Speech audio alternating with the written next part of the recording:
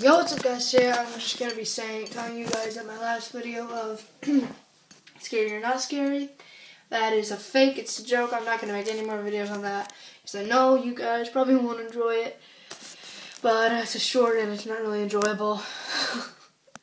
uh,